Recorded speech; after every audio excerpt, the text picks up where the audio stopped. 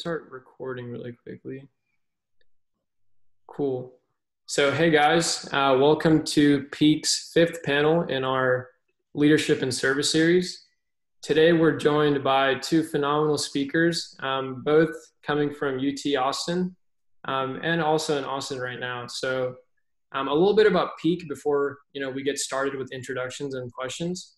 Um, PEAC is a Houston-based nonprofit that has 15 chapters across six cities, uh, with the goal of engaging youth in their local communities through civic engagement. And we want youth like yourselves to involve as early as possible in solving community issues. So as you grow older, um, you know you have the confidence uh, as well as the experience to deal with issues that you know are more pertaining to um, you know everyone as a whole. So we can go ahead and get started with introductions here. Um, I'll go ahead and introduce Miss Ashley Jennings.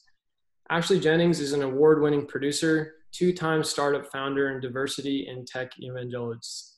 She serves as program director of innovation and technology, uh, commercialization, and managing director of the Texas Innovation Center, where she helps oversee uni university-wide commercialization efforts for faculty and students in translation research. Through her work in the startup ecosystem, She's been deemed a top connector of people and organizations in Austin, focused on real change around systemic problems for women in the workforce and gender inequality. Ashley helped co-found and served as Chief Marketing Officer for, for Texas's first tech accelerator for women and ethnically diverse tech founders aimed at increasing diversity in the tech industry. She also co-owned a video production agency as executive producer, championing content for clients of all sizes from local startups to Fortune 100 companies. Our second speaker is Lesley Robinson. Lesley Robinson is passionate about empowering students, especially women, to find the best path to their own destination and absolutely believes in taking the world by the horns. Robinson brings a mix of experience in higher education, nonprofit management, and corporate partnerships with a proven record of supporting students and early stage entrepreneurs to have innovative experiences with impact embedded. Currently, Lesley is the inaugural program manager for the newly launched Kendra Scott Women's Entrepreneurial Leadership Institute at the University of Texas at Austin. The WEL Institute supports a curricular and co-curricular effort to provide students with promising college to career pathways, especially women and creatives who have been underrepresented in entrepreneurial roles. So a big thank you to Miss, or sorry, Lesley and Miss Jennings um, we can go ahead and get started with our questions for today. Awesome. So can we go ahead and get started um, with you guys sharing a little bit more about your industry um, and, and, you know, the kind of responsibilities, uh, you know, of your job? Ashley, go for it. Okay, great. well, and I think something that's really uh, unique is that both Lesley and I met in the startup ecosystem. And so coming from uh, that entrepreneurial environment here in Austin, I think has led us to this really goal and mission oriented uh, campus and, and, the roles that we serve right now on campus. So, hi everyone, Ashley Jennings, and I, as mentioned, I serve as managing director of the Texas Innovation Center. Um, the Texas Innovation Center at the University of Texas is a collaboration between the College of Natural Sciences Cockrell School of Engineering and the Office of Technology Commercialization. And we are a co working space on campus focused on taking research and ideas out of labs or um, within the ecosystem and bringing them to market. So even though we're focused on STEM based deep technologies, we serve students and faculty across campus. Um, and so to explain a little bit about what that means, translational research and um, the industry that I work in. So every public research university in the country has a tech transfer office. And when um, a discovery is made within a laboratory, uh, that faculty member or grad student or postdoc goes and files an invention disclosure. And once they file that invention disclosure to protect the intellectual property, they can go one of three ways. They either go and license the IP. Um, they continue on with their research in the lab and can uh, through sponsored research opportunities, or they come over into the section that I sit in, which is new venture creation and commercialization. And um, so, to give a kind of a an example of that, if you think of like Florida and Gatorade and the Gatorade Fund that sits at Florida State and um, that being created inside of a lab, uh, Honeycrisp Apples was created at Minnesota, Google was created at Stanford.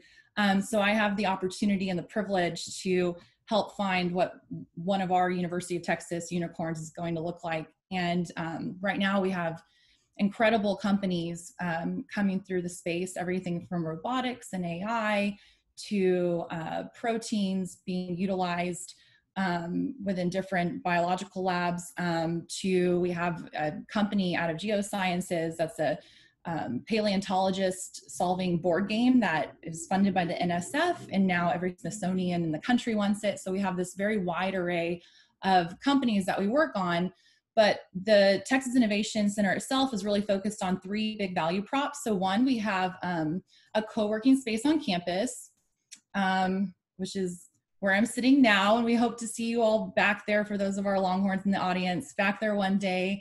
Um, and so the co-working space itself serves as an environment where researchers and scientists and even undergraduates can come and be together in community and, and work on the innovative uh, ideas they have or the problems they're trying to solve. So co-working space is one of our big value props. Um, we also have something called Startup in a Box. And basically, if you come into the Texas Innovation Center and you're wanting to incorporate your company, um, we have uh, people who will help you incorporate, IP attorneys who will sit with you, accountants, HR, manufacturers. If you're prototyping something, we have a Longhorn friendly vendor list who we call upon um, in our startup in a box model to kind of get you the nuts and bolts of starting your company um, and whatever you're working on.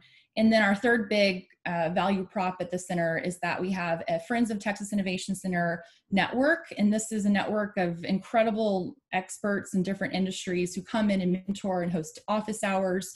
We had an immigration and nationalization attorney in this week to help some of our grad students and postdocs um, navigate recent policy decisions. We have firms who specifically invest in university research come in from Boston and San Diego and New York. And then, of course, we have a ton of firms here in Austin who are interested in what we're working on and, and what our faculty and grad students and postdocs are doing in the labs. And so that um, Longhorn uh, Friend of Texas Innovation Center network is something that we love. Love helping students tap into uh, with whatever you're working on. And um, so that's a little bit about what I do um, at the Texas Innovation Center and kind of what our overall mission and, and vision is. Awesome. Well, thank you for sharing, Ms. Jennings. Um, and you know, I think it's really important to kind of touch again on how you talked about how you know Google was started at Stanford, um, and you know, and Gatorade had its origins um, in Florida. And I think you know that just says that college students have the you know potential to you know make changes and come up with these big bold ideas that really do make differences in society. Um, and you know, I just wanted to say thank you for kind of serving as a supporting structure for everyone trying to do something in entrepreneurship. Um, so can we have, um, you know, Lesley share a little bit more about, um, you know, your industry as well as your job? Yeah, absolutely. Ashley, you're so awesome. I, I always so amazed at like everything you've done, but especially like the, the imprint that you have at UT and the support system. It's really incredible. And um, thank you so much, Pete, for having me. I'm so excited to, to share um, not only kind of just about women in entrepreneurship, but especially, you know, to blast out and launch and amplify what we're doing here with the Kendra Scott Women's Entrepreneurial Leadership Institute, or what we call the WEL Institute for short. Um, just quickly, a little bit of background about me is just as we tell our startups and our founders to pivot, you know, so much of this has been a career pivot for me and just not naturally um, an entrepreneur or have had like startups in my background or my experience. In fact, uh, my background is very much in higher education and specifically in international education.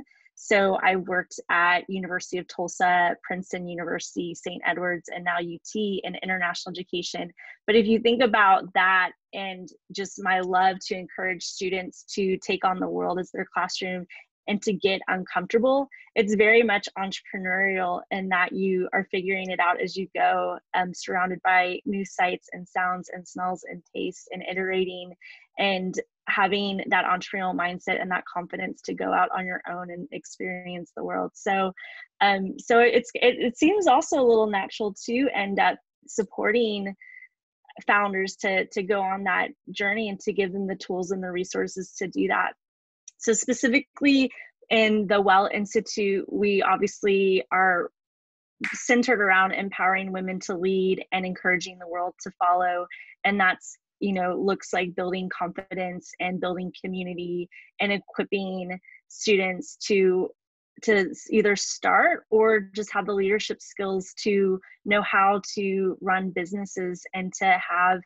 you know the entrepreneurial mindset to to throw things on the wall and stick but also we want to celebrate and represent our female founders and to have that community um, and have that community be so strong especially as students graduate and you know seek out what it is that they want to be or you know continue to become once they leave the 40 acres or wherever they are and the other thing that i'll mention about the WEL institute is we are unique in that we're interdisciplinary and we're not attached to any college or um, on campus at UT.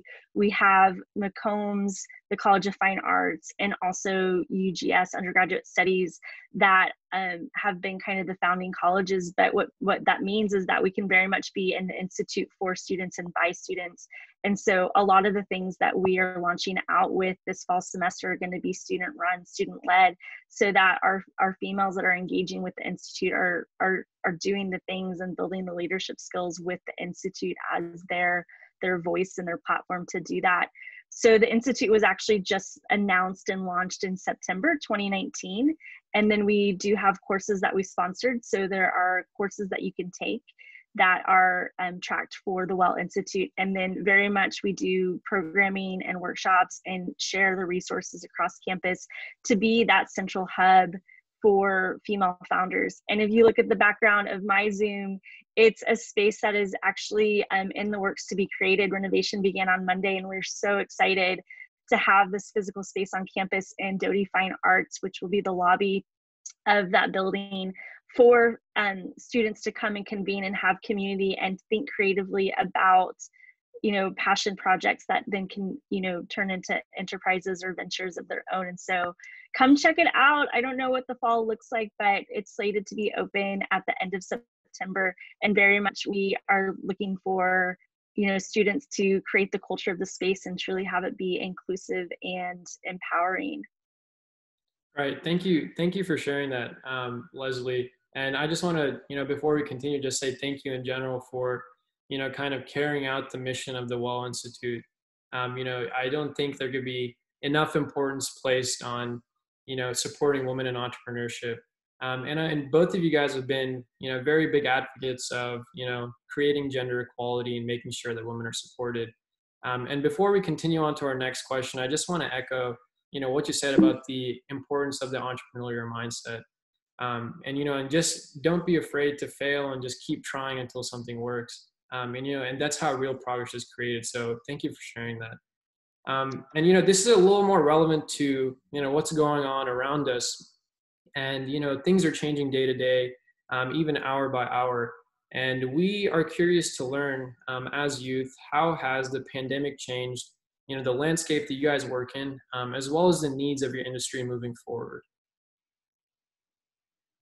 well, I think it, every industry has changed because of this. And specifically, uh, where we sit in academia and education overall has changed, uh, and it will never be the same.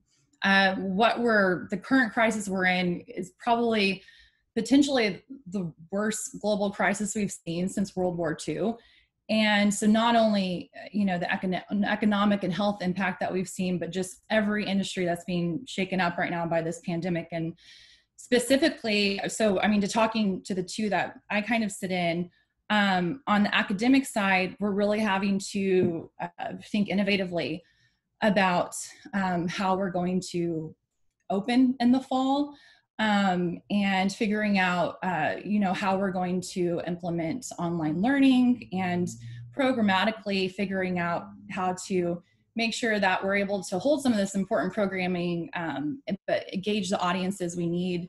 Um, and so, in terms of the Texas Innovation Center, um, I like to take it back to March. We were supposed to launch this new space that you see behind me. On March 31st was our open house. We had uh, a few weeks before just had this really incredible event where 12 of our startup companies pitched to the Central Texas Angel Network one evening and it was an awesome event where our companies got to share their technologies and gather feedback and ask for support and so that was the pre-launch to our overall open house which was going to be for everyone across campus and community to come in and um, it's almost as if i'm sure everyone has felt this way it's it was like almost a soap opera script what happened at the university. First we um, you know our provost left and then our president announced that he was leaving and then on top of that our research labs were shut down as the university shut down completely. And so when our research lab shut down that meant that most of our portfolio over at the texas innovation center halted um, because our companies relied on different efficacy testing that they were doing, various metrics and milestones they were trying to hit for the next round of funding for uh, grants that they were on. And um, so we were pivoted, my executive director and I, to COVID 19 response projects. And first, I was working um, on N95 masks uh, with the Texas Military Department's Innovation Task Force. And we were trying to figure out um, how to, at the moment, a lot of various um, 3D printing companies were stepping in and taking the source code that was open source for these masks and wanting to print out tons of masks to be able for the governor's task force to deploy across Texas, but we were wanting to make sure that those masks were going to be properly tested first before a lot of these startup companies, uh, 3D printing companies, were going to be uh, manufacturing them and, and, deploying them. So first I was on N95 masks, and then we were pivoted to um, bridge, a bridge ventilator that was a partnership between some of our incredible faculty out of Cockrell School of Engineering and some of our uh, doctors out of Dell Med. And so we were helping on uh, the creation of what that bridge ventilator would look like. And that's where my executive director still sits right now. It's currently uh, going through emergency FDA regulatory pathway and uh, about to be in the hands of a manufacturer, which is really exciting because those will be deployed out to rural areas across Texas but I was finally put on a world that I never thought I'd be put into, which was um, epidemiological forecasting and, mo- and, modeling of the virus. And so um, we kind of divided and conquered. Van and I, my uh, executive director, um, were a lean, mean startup team over at the Texas Innovation Center. And being a former entrepreneur myself, um, agilely being able to pivot quickly in a time of crisis is something that you learn uh, through the sweat, blood, and tears that go into starting any company and having or, or pivoting any career. And so we very quickly were pivoted into those projects. And um, I became the chief of staff and project manager for a scientist who was overseeing a 50 to 60 person consortium every morning. And it was almost something out of a command center call, if you will, where every morning at 9 a.m. I was logging on, and it was a room full of mathematicians and data scientists and some of the most incredibly trained um, data trackers uh, of our time. And um, I sat in a 500 foot view of really overseeing the scientists and the projects that were going on to make sure that they could focus on the science. And they were at the 50 foot view of, of making sure that they were delivering, whether it was on um, we were reporting directly to uh, the city of Austin, and she would go up in front of the governor's task force, and then at times the White House subcommittee on science, technology, and space. So just a fascinating world that I never thought I would sit in, but I was pivoted to this project out of need and out of current time of crisis. And as an innovator, um, I think these times and this, how this pandemic has changed overall is that innovations needed more than ever. So, and, and look at it also from a, a an innovation within the labs uh, mindset as well. I mean, a lot of our faculty went into, okay, I'll halt this project over here, but what can I do right now for cur- current need on the market, for current need when it comes to healthcare, environment, um, workforce now is really what we're looking at because we're i mean the unemployment rate is severe and so we're trying to figure out how to tackle that problem as well. But um i it, it, as innovators we were just pivoted to current need situations and current need projects. Right. Um, and you know some big themes that i'm hearing and everything that you're saying is you know a problem solving um, and b just kind of you know adapting and collaborating to kind of work together. Um, you know just pool a bunch of resources to in some sort of unified effort to you know combat what's going on right now. Um, and you know this you know the the what i keep hearing over and over is just you know the situation is changing and you just have to adapt to to meet it. Um, you know so thank you for doing all this work um, you know with the n95 masks and kind of supporting our, our healthcare system in response. Um, lesley do you have uh, you know can you share a little bit more about your experience with kind of adapting to the ongoing situation? Yeah, I mean, I think if anything, the pandemic has taught us that we need the grace and the skills to know how to pivot and to be able to be nimble and to be able to go with the flow and and what that looks like and how to do that successfully. And so so much of of what the WEL institute has been a part is you know we are a startup in ourselves. We were just announced in the fall. We you know if you will had like a soft launch in the spring I joined in mid February, so I was actually only on campus five weeks before everything shut down. And so, if you think about it, you know, so much of the foundation has been built virtually and also trying to understand not only what students want the WEL Institute to be, but what they need for it to be, and to get that buy in and, and create that space to um, know how we're going to approach and tackle the fall in a way that's going to, you know, stick stick to our mission and really teach the beauty of failure because I think failure is so necessary. And I don't want anyone to think about, you know, pre COVID and post COVID and think that there's failure, you know, in between from what could have been, but instead to see that as opportunity. And so if we think about it in that optimistic mind frame, you know, we just made the call yesterday for a brilliant, beautiful, grand scale women's summit that's scheduled for November 17th to be 100% virtual. But honestly, like I am okay with that. And the reason I'm okay is because it equals more accessibility and more access for not just UT students, but for you know female founders or, or anyone who wants to receive the content from that summit to experience it you know on their own schedule on their own time from the comfort of their own home which is you know obviously how this world is feeling right now. But i do think that there's such opportunity to be able to have scalability with the pandemic. So if i think about it with like this women's summit and what we're trying to do with that i think you know there's the optimism in that and and then the reach that that's able to have. And obviously as i mentioned the accessibility. I do think um yeah, I think it's it's it's coming up with a toolkit, if you will, those equipping skills to be able to handle something like this. And it's not a new normal, it's the next normal, and just getting our minds around that and how to um, have healthy mindset to to move forward. Right, um, and I think that's very powerful. Um, you know how you mentioned the kind of push for more accessibility, um, and you know I feel like we've kind of taken you know in-person collaboration uh, for granted while we had it. But you know, given our situation now, uh, I like how you say it's not the new normal; it's the next normal. Um, and you know, mm-hmm. that push for accessibility, I think, is is something that can't be emphasized enough. Um, and you know, this is a you know a beautiful segue into our next question. Um, you guys both talked about you know innovation and kind of adapting. Um, so I wanted to ask you guys, you know, is innovation something that you believe is um, you know driven by necessity? Is it driven by freedom? Um, is it something that's a science or is it something that's you know perspective and creativity? Um, you know, you guys have a bunch of experience, so I just want to hear your opinion on you know what is the what are some of the drivers of innovation? Mm-hmm.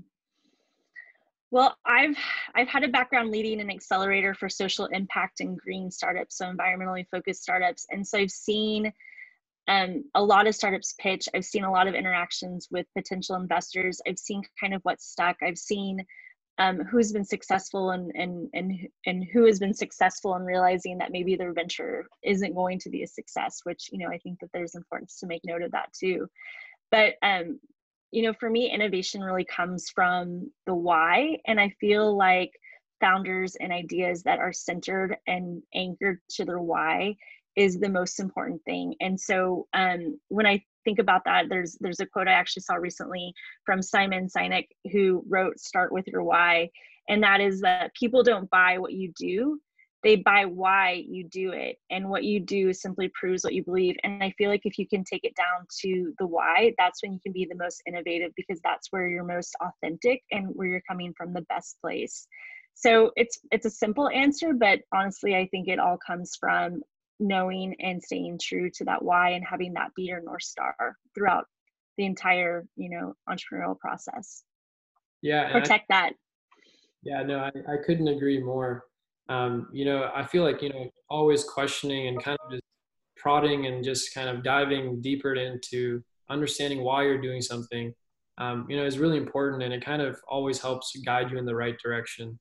Um, so i'd love to hear uh, you know miss jennings opinions on this as well well, Les, you came with a great quote. I don't have a, an inspirational quote like that, but I, I do um, believe that innovation is both art and science. Absolutely, it's both. It's it, it takes the creatives, it takes the scientists, it takes the researchers. I also think it's driven through need and problem a problem. Um, if it's driven through freedom, then there has to be specific um, motivation around innovating. And if you look at how some of the top con- companies in, in the world run their r&d departments right or, or run their in-house innovation teams everyone does it to their own kind of different flavor and, and recipe if you will. Um, but i truly believe it, it, absolutely starts with your why and at the core um, something that you have to so deeply want to solve that you leave behind all the other tabs in your head that might be open to close those and to focus on that one tab as an entrepreneur. I mean, I know um, specifically, and like Lesley, I have a background in uh, helping run accelerators and studying studying accelerator models, and um, the the why for helping start one of our first diversity focused accelerators in the country was behind walking into a co-working space where I was running my own company at the time and I was looking around and I didn't see many people who looked like me. And I was also looking for women mentors and advisors, and I noticed such a lack thereof. And I just thought, where are my ladies at? And then I started studying and, you know, looking at where um, the VC funding was going for women owned businesses, like where the pockets of the country who were doing it a little bit better or more focused on that than where we were currently five to six years ago here in Austin. And in looking around and identifying a problem, uh, that led me to wanting to solve the problem, even if it meant bootstrapping two startup companies at the same time and, um, you know, driving Lyft in the morning to to fundraise and um, just really hitting the ground and meeting as many people as I could and networking out the wazoo. Um, I think it starts with your why, with the problem, what you're wanting to solve. But I absolutely believe innovation stems from it's both science and art at the same time. Right. Um, you know thank you thank you for sharing that. Both of your responses uh, very inspiring for our audience here. Um, and you know i kind of like how you said you know you need to kind of close down all your other tabs and, and kind of make this your your main focus. Um, and you know the, the asking the why over and over um, you know I, I feel like it really provides clarity um, you know if you keep asking that question so thank you for sharing that with our group. Uh, you know, a very powerful message.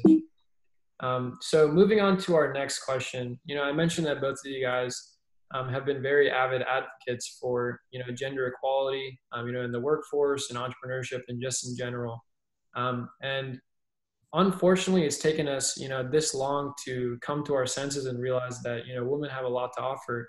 Um, but on the flip side, you know, it's good that it's happening now. Um, and it's also in the hands of our, you know, Gen Z to kind of push that progress and make sure that, you know, it stays and it's not there to go. So, you know, how, you know, as the leaders of tomorrow um, in our youth generation, can we ensure gender equality um, and support women in entrepreneurship? Yeah.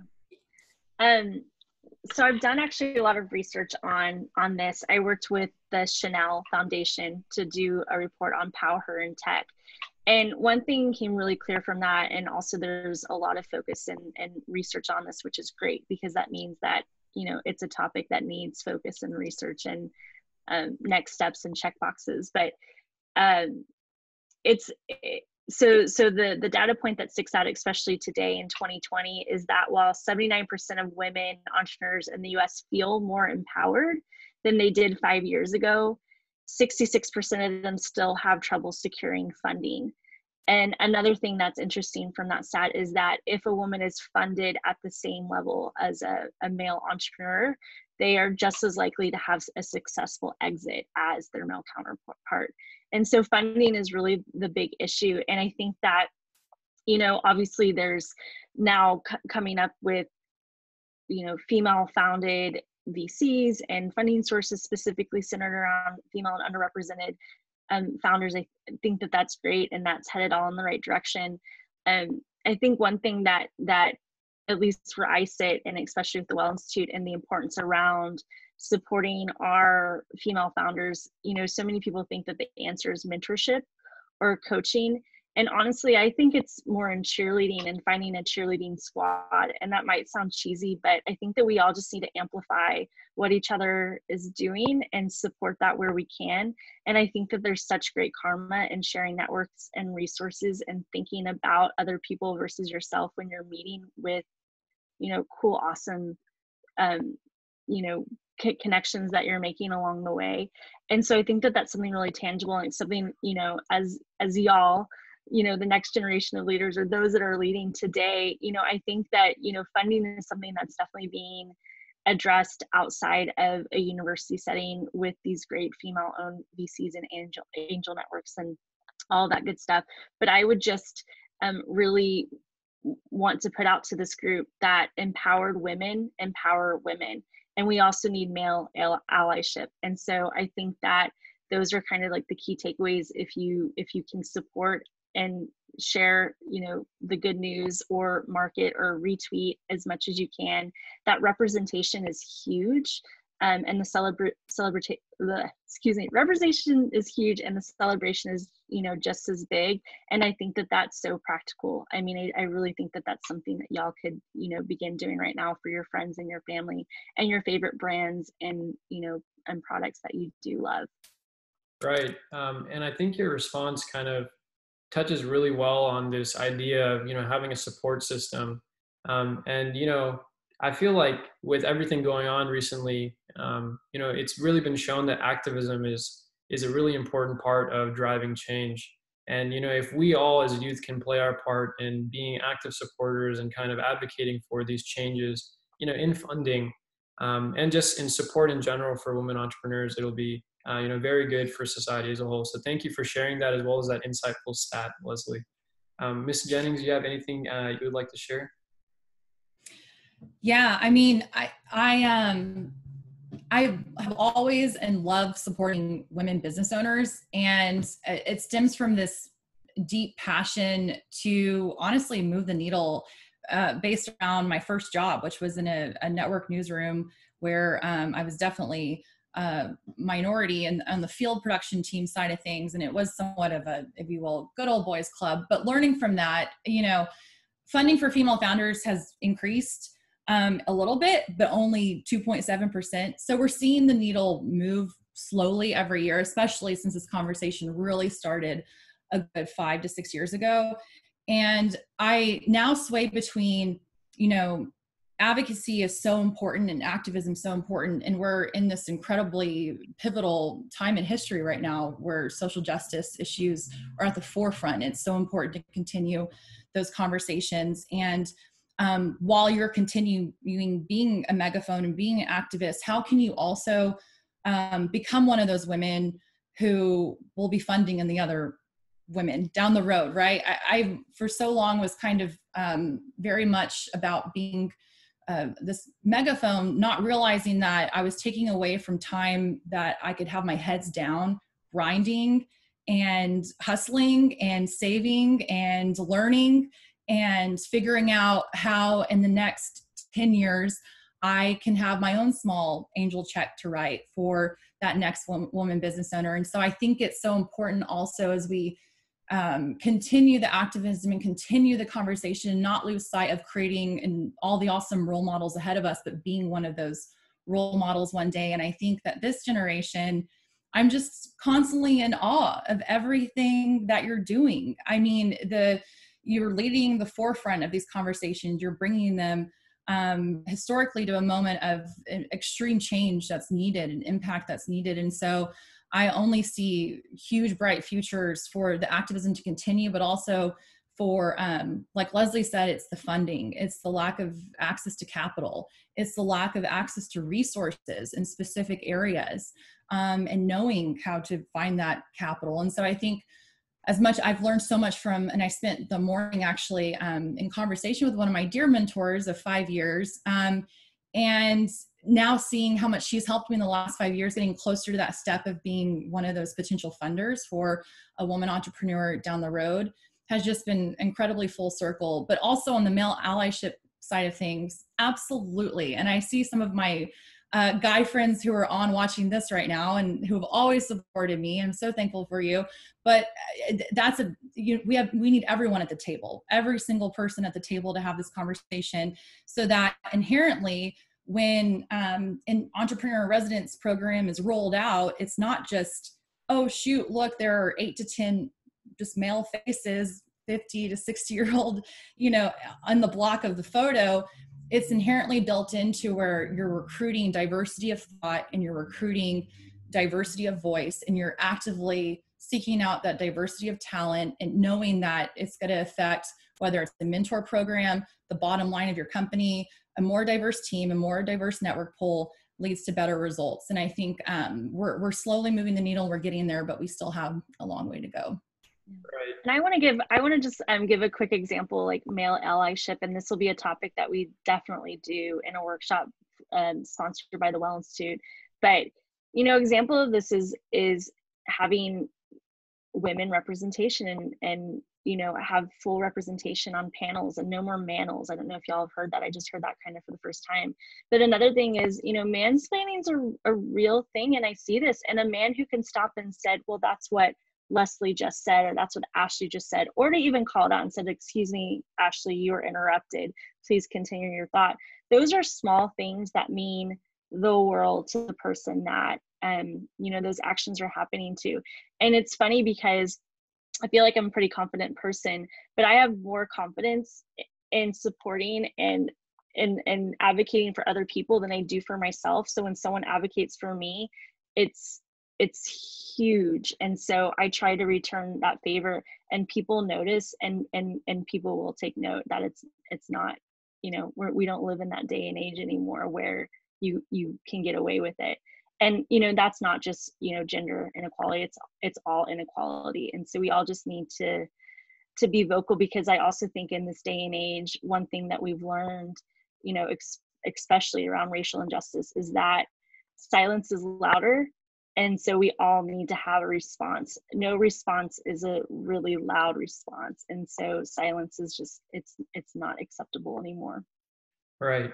Um, and thank you both for sharing your responses to this. You know this is a very um, you know important conversation that should be happening on a global scale.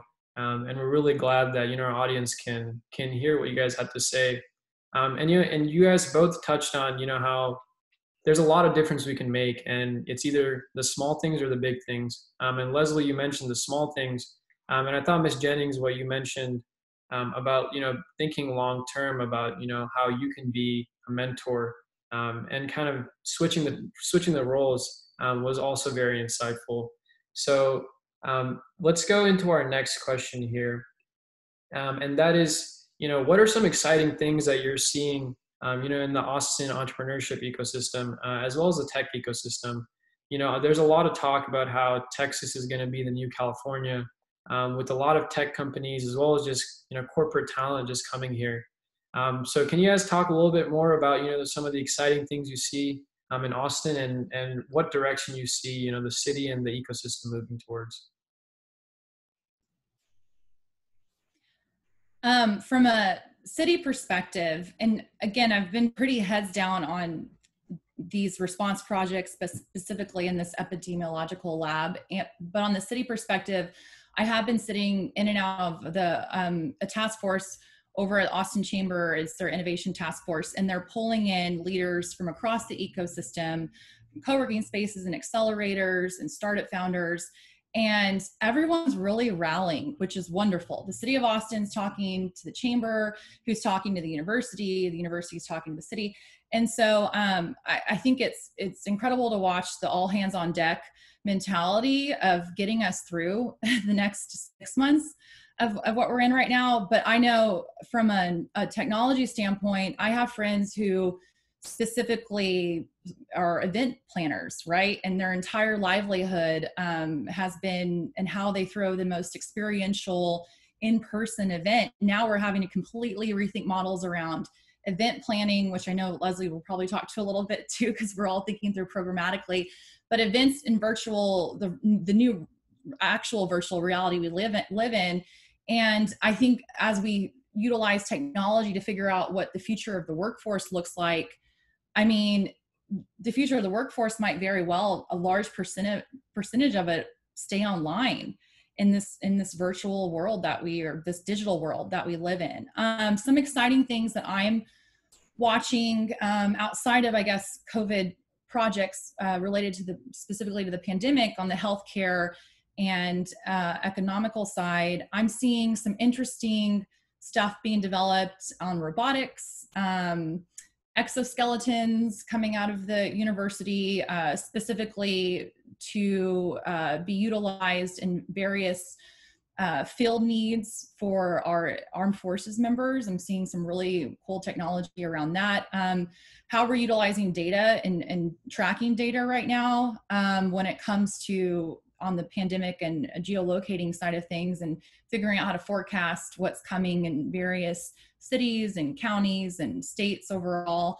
Um, but I think data is changing a little bit because data scientists are teaming up with engineers or teaming up with the supercomputer people um, to figure out new methods of building out a toolkit for the next pandemic and making sure this doesn't happen again. Um, so we're, we're thinking forward focused and future focused on you know what are some of the big problems coming down the pipeline? Not that we can think of what else could happen right now in this time in history but really utilizing technology to be ready to go whenever that next big problem happens. Um, I think, you know, also we're seeing um, in terms of the ecosystem, co working spaces and models and how those are going to play out. Co working spaces fully rely on community, right? And if you've ever been able to go inside of one, um, it, a lot of it is based around the networking aspect and being around other innovators and that spirit and that energy. I mean, I say it all the time, but um, I my first time walking into a co-working space, I got as excited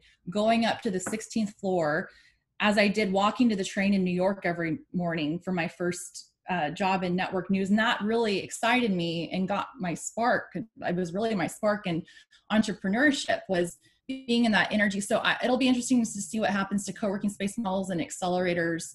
Um, but I think the future of workforce is, has changed for good. And I mean, we also have had a lot of big city announcements lately with Tesla coming in, and Austin is just an epicenter with all of our different campuses. And um, so just trying to keep up also um, for those in the audience, our students on in the news and, and as you're looking at opportunities, keeping up with all the different technological opportunities coming in. Right. Um, you know, I, I like how you talked about kind of both spectrums of what's going on right now and also what we're preparing for. Um, and you know, being proactive seems like a very big, you know, part of what's going on right now. Um, so let's let um, you know Lesley speak a little bit more about what she's seeing from her end. Yeah, I mean, I think if we if we think about Austin, and you know, I'm I'm a newcomer to Austin as well. I've been here four and a half years, and gosh, the city has changed so much even since I've gotten here. So I can only imagine, you know, what it will look like and feel like in four and a half years but but what I know is that Austin is accessible and it's approachable and it truly is good karma in terms of sharing network and sharing connections. And if there's one thing I've learned is that you know we need to protect that. There's there's something about building network but in austin it's about building community and i think that that's something that we really need to protect because if somebody makes an introduction you know most likely i will say the person that's that's being introduced will hear back because there is that that that vibe that exists here and that authenticity to really you know to to share the wealth of what we've what we've created and built in austin. And so i hope that doesn't change and i think that that's what makes austin so unique and especially in the startup ecosystem. I mean it's very collaborative and everyone is you know sharing the good graces of the resources that they have or the connections that they have and i don't want that to stop and it should never stop. And so so please you know return emails return calls and and and be part of you know what makes Austin so desirable right now, I think, for you know the startups that are coming from other places and especially from Silicon Valley. We hear about this being Silicon Hills, and I just you know I I, really want to protect what what's been created here. And then in terms of tech, I mean, I really do think that.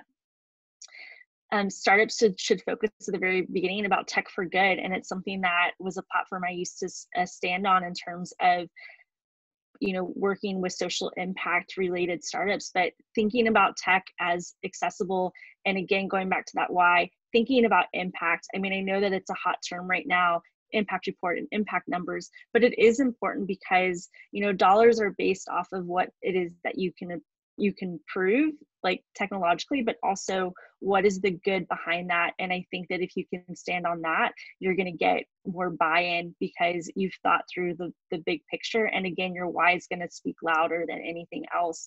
And so it's just i think should be the trend in anything that you do or you know um, present or pitch is that you can't underemphasize you know the tech for good piece of of what it is that you're trying to build or what it is that's coming to the city. And I'm from Tulsa, so Tulsa put up a really good fight with, you know, Tesla for Tulsa and all of that great stuff but um, again you know the opportunity is just coming so fast and furiously and it's great for austin but i do know that the culture here is kind of on a brink to change and y'all as you know the next generation and the the future really will have a role to play in in terms of which way that goes and and you know to protect what makes it so special here and delicious. I think austin is delicious. Austin has some great tacos. Right that's a that's a conversation for another day. Um, but, you know, thanks, thank you for you know sharing, uh, you know, more about how tech can be used for good. Because you know, us growing up has just been a huge part of our lives, and it kind of influences everything we do. And it's good to see that you know there's trajectory for to move to you know um, like more, I guess, like useful causes uh, in terms of COVID nineteen response. Um, and also just, I think both of you guys talked about this. You know, Austin is really built on collaboration um, so it's it's going to be interesting to see how that changes moving forward. But you know, I think that was a that was a great exchange on the questions we had, and we'd like to open it up for Q and A. So if anyone is um, interested in asking a question, you know, feel free to either type it in the chat or come off mute and ask a question.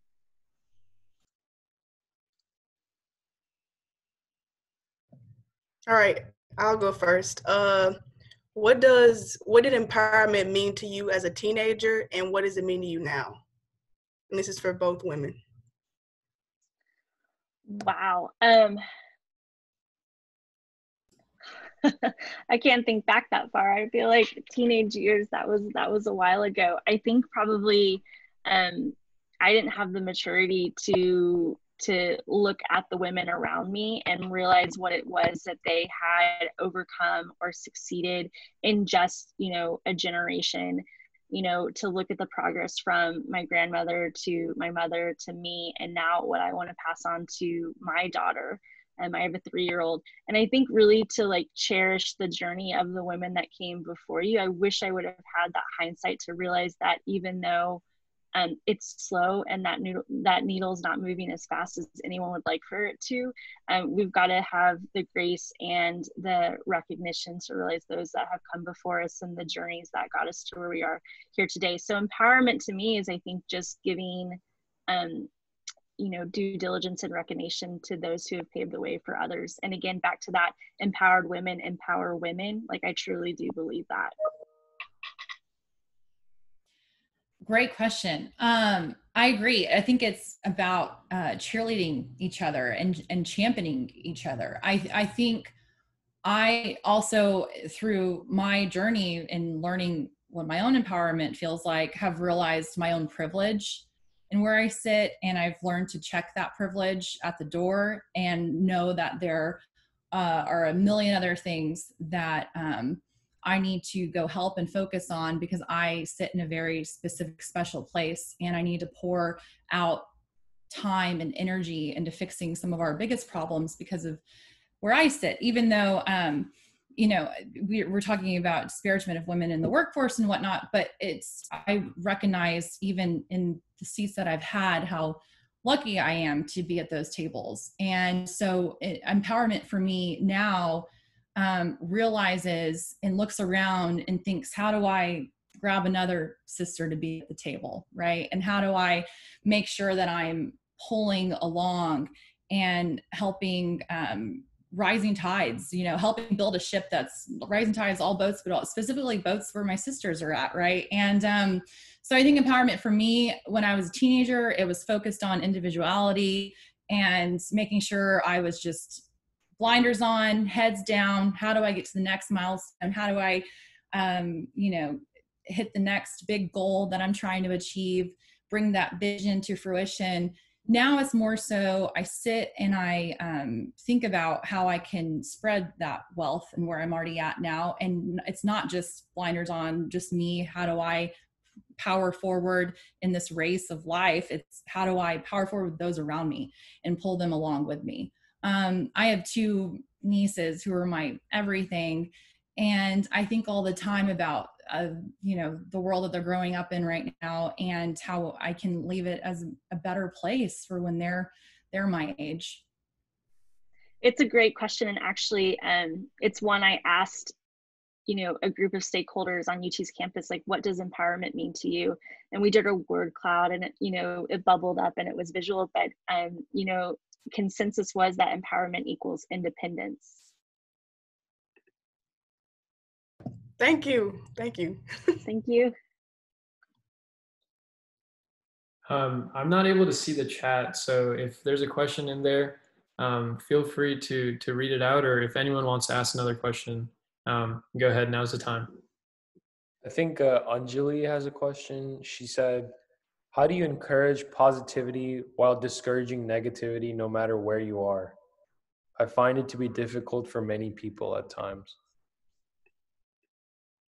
That that's a great question. And I the first thing that comes to mind is I used to be extremely reactive in conversation, especially if there was some sort of negative negativity, uh, negative statement, negative spirit around me, negative energy um, I used to be reactive to it and feel like I had to um, say something and talk to it and automatically uh, respond to it. But now I've learned in discouraging negativity and encouraging positivity, sometimes it's really okay just to sit and think about what you're going to say and listen also before you are reactive because that's the best way to help um, whatever the negative spirit or negativity going on around you um, to disperse it and deflect it immediately is sometimes just to I, I used to talk a lot now I, I, listen a lot more. And i think that's one way to kind of discourage negativity and encourage positivity through your actions.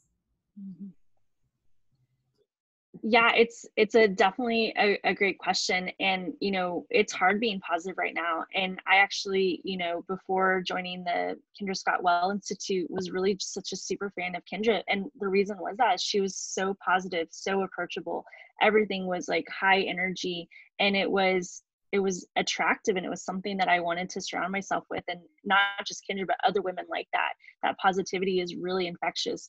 But um, one thing I would say on that is when I catch myself being negative or hear other people being negative the mantra that I've created for myself especially now in covid is thankful and grateful. Thankful and grateful and it's centering. It really is centering. And so when people ask me how I am I'll say I'm thankful and grateful and then however they react to that you know kind of then leads the conversation. But if i you know would have been negative it, it's it's just a, a, much better more honest place i think to lead from. And and i think it's okay to to to be authentic and to say what's really going on and to not pollyanna it and to to be true with with how you're feeling because then i think that makes you real and relatable and authentic. And you know it it it's important right now to have that transparency. So I think if you can come up with a mantra and mine's thankful and grateful to just recenter you, I think that that's that would be key. Right. Thanks for those great questions, guys, um, as well as those responses. Uh, we have Kanishk who just asked a question. He says, "How can male allies help to empower women in their workplace or organization?" Yeah pull up a chair to the table. Invite your your your anyone. Invite anyone that looks different from you to the table. But especially in terms of women you know it's allowing the space creating the space. I shouldn't say allowing it's creating the space for them to have a voice. And i think you know meghan markle actually had something that really spoke to me so loudly. It was a quote that it's you know women don't need to find their voice. They've always had their voice it's just they need a place to be able to speak it and feel comfortable doing that and so you know everyone's job is to create those comfortable spaces. And I love getting uncomfortable and rolling around in new places and in the dirt and feeling, you know, a little bit out of my element. But you also have to understand that, you know, it's it's inclusivity and it's making sure that you're, yeah, you're you're respecting those who so actually I, am going to change it. It's respecting those who are at the table but it's also looking around the table and being very intentional about realizing who's not there.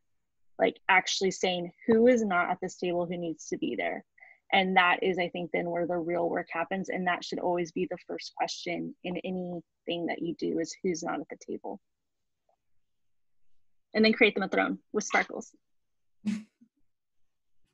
everything that lesley said and more. And um, absolutely, in terms of allyship, it is in like automatically noticing that it's only six men across the table from you and realizing, oh, maybe we should invite that other voice and that other uh, talent to the table.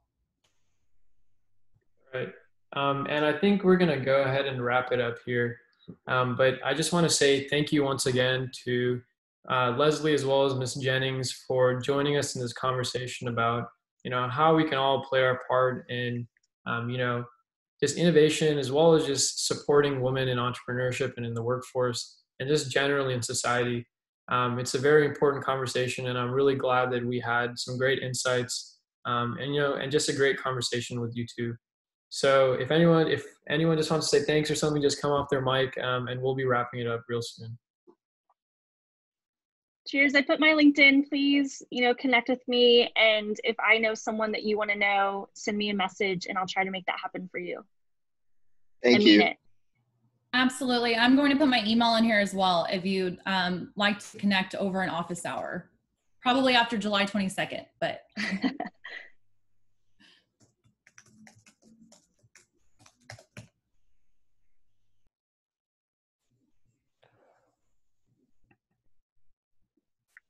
Awesome. Thank you guys. We really appreciate it here.